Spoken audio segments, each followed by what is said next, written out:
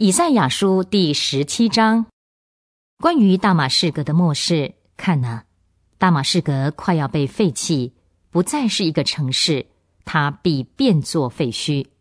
亚罗尔的城市必被撇弃，成为牧放羊群之处，羊群必在那里躺卧，没有人惊扰他们。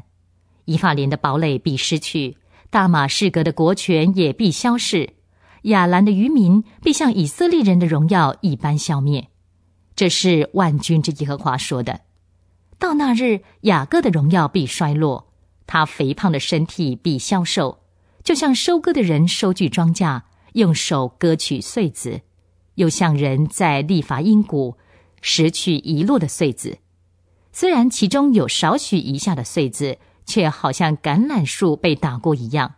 在树顶上只剩下两三个果子，在那本是多结果子的果树之上，只留下四五个果子。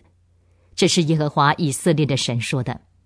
到那日，人必仰望他们的创造主，他们必亲眼看见以色列的圣者。他们必不仰望自己双手所做的祭坛，也不再看着自己指头所做的，无论是亚瑟拉或是香坛。到那日。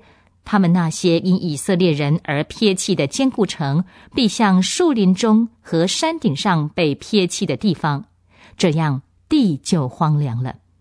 因为你忘记了那拯救你的神，又不纪念那做你避难所的磐石，所以你虽然栽下佳美的树秧子，种下异种的幼苗，又在你栽种的日子里细心的在周围圈上篱笆。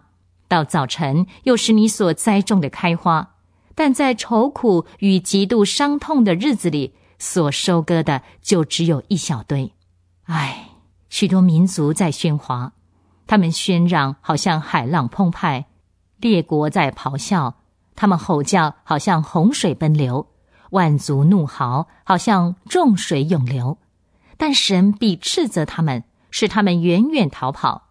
他们又被追赶，如同山上风前的康比，又像暴风前的尘土卷动。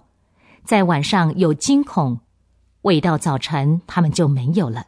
这是那些抢夺我们的人所得的份，是那些掠劫我们的人应得的报应。